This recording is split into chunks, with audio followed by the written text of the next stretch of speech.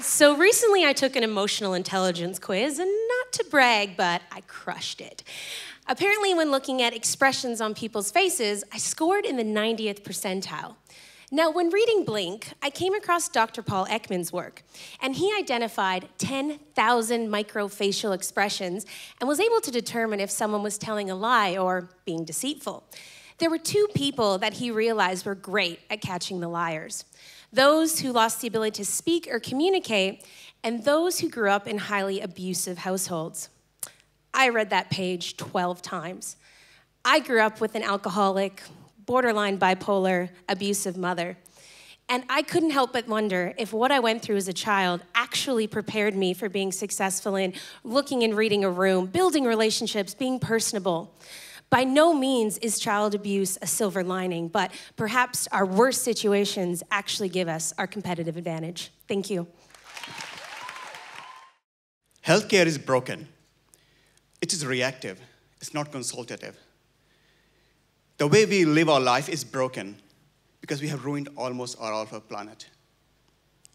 My idea is to live more sustainably. And how I'm going to do it is to gamify it. I follow four principles of gamification. One is to quantify everything. Put measures on your walk, sleep, eat, make love, everything. Second, optimism. You need to be in control to measure what you're doing. Instead of asking, I can do it, ask, how can I do it? Third one is social fabric which is very important because you need to play games with each other, right? You need to win the awards as well. So social fabric is very important. Bring your wife, family, everyone into it. And fourth, last one is, is the urgent optimism. Have the new to do it. Statistics tell us that despite our best effort, the human mortality rate stands at 100%. Hashtag, we're all gonna die. And in the spectrum of life, we love to talk about birth. We often chat heaps about how to live a great life, and we politely ignore the topic of death until we're forced to face it. And most people I know are happy to talk about death as a concept, but if we want to talk about it, their mortality and how that impacts their family, it suddenly goes very quiet. And I think it's selfish. It's selfish to leave behind a logistical nightmare for our family and friends when they're trying to grieve that we've died. So, how do we show the courage to change the way we approach end of life? How do we make a difference and ease the burden on them? We be pragmatic. We get a red folder, we label it my end of life plan, and we start filling it with instructions. And at the very least, at any age, you can go and complete a will and start telling people that you're going to get prepared. Thank you. At high school, I told my careers counsellor that I wanted to restore classic cars. She thought that that meant I wanted to fix smashed Toyota Corollas. I started a career, an apprenticeship in um, panel beating, and that was the humble beginnings of my career. Ten years later, I am a classic car restorer, and I've just been, I've received a Winston Churchill Fellowship and travelled the world researching the vanishing craft of coach building and classic car restoration. I'm sure no one here is planning on becoming a coach builder, but the message is that no matter what trade you pick, it can always be refined, reimagined, and turned into an artisanal profession.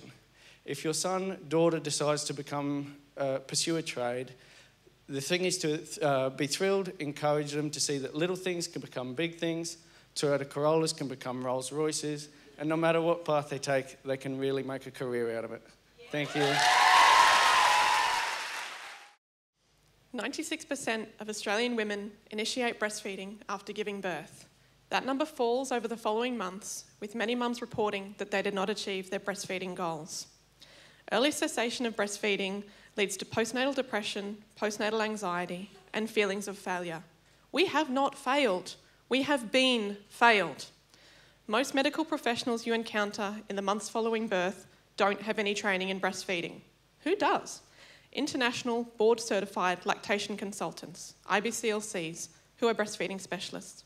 So, what do we need? We need medical professionals to refer to IBCLCs for breastfeeding issues, and we need IBCLCs to be covered under Medicare. We also need Medicare rebates for laser release of tongue ties, which can cause breastfeeding issues.